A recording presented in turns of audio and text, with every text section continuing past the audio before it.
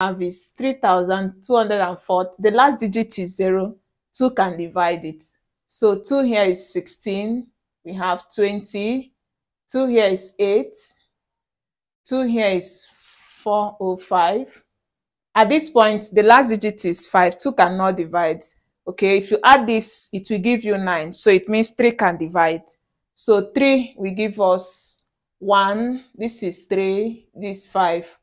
3 here is 4. Taking 1, 5. 3 in 45 is 15. 3 in 15 is 5. And 5 in itself, 1. Now, because it's cube root, you group in threes. Okay, so group this, take 1.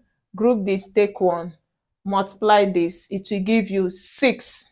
Then this will remain in the root. 3 times this will give us 15. So we have cube root of 15 and this is your answer. Please subscribe.